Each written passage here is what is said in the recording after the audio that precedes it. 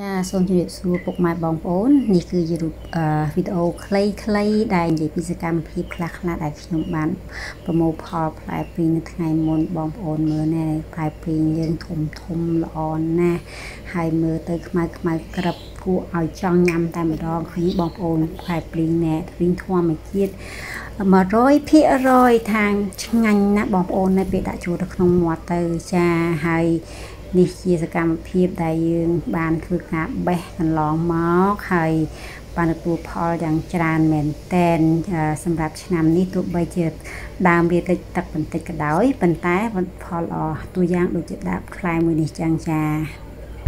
ចាបងប្អូនមើលទៅថាផ្លែព្រីងធំប៉ុណ្ណាខ្ញុំបេះហើយខ្ញុំយកមកដាក់ផ្ទឹមនៅមេដៃខ្ញុំគឺវាធំជាងមេដៃខ្ញុំខ្លាំងមែនតែនអញ្ចឹងផ្លែព្រីងមួយគ្រាប់មួយគ្រាប់គឺឆ្ងាញ់មែនតែនហើយបងប្អូនមើលដាក់នៅក្នុងម្រាមដៃខ្ញុំទាំង4គឺមួយផ្លែគឺបាំងម្រាមដៃខ្ញុំទាំង4អញ្ចឹងបងប្អូនអាចមើលថាវាធំប៉ុណ្ណាចាអរគុណសម្រាប់ទស្សនាវីដេអូនេះ